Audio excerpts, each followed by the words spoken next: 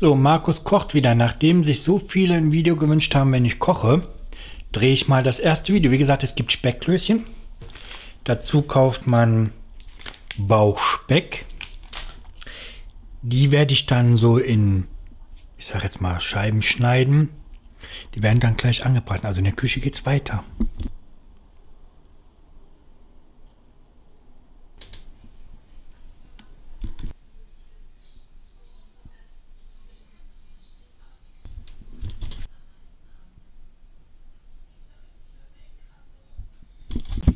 Ihr habt gesehen, von Hänglein, Klöße halb und halb.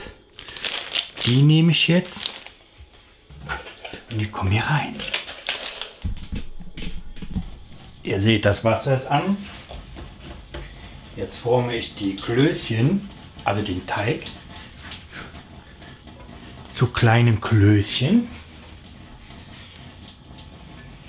Ja.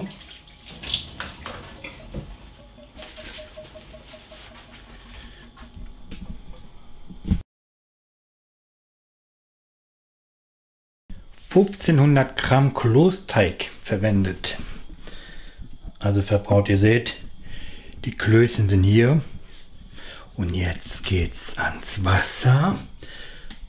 Wenn das Wasser kocht, kommen die Klößchen da rein.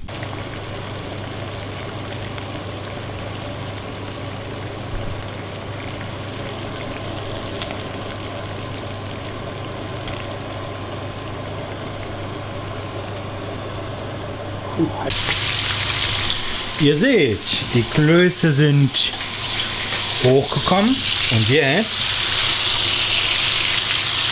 den Speck einfach hellbraun anbraten. Natürlich in eine Pfanne mit Öl. Ihr habt es gesehen. Klöße in die Pfanne. Und jetzt schön mit dem Fett vermengen, damit das, damit die Klöße den Geschmack von den Fett-Speck-Gemisch aufnimmt. Mua, lecker!